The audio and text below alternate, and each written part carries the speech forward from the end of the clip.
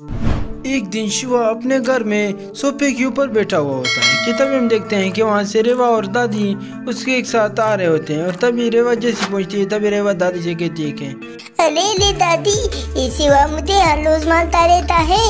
ये मुझे कभी भी आराम से जीने नहीं देता। ये जब देखो कभी मुझे मारता है कभी मेरे साइकिल को मारता है। आप जल्दी से इसे डांटिए तभी शिवा उतर कर कहता है कि अरे अरे, दादी, ये तुम्हें गलत बातें बता रही है। अरे, मैंने कभी भी इसको नहीं मारा। अरे, बल्कि उल्टा ये तो मुझे मारती रहती है। दादी, आप इसकी बातें कभी भी नहीं सुनना।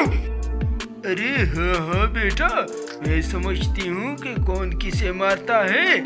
शिवा, तुम आजकल बहुत ही ज़्यादा तेज हो रहे हो। अब तो मुझे तुम्हें सबक सिखाना ही पड़ेगा। ये ले मेरी तरफ़ से। आ गया मज़ा। अरे अरे ये रेवा किधर चली गई? अरे रेवा किधर जा रही है? रुक जाओ जरा।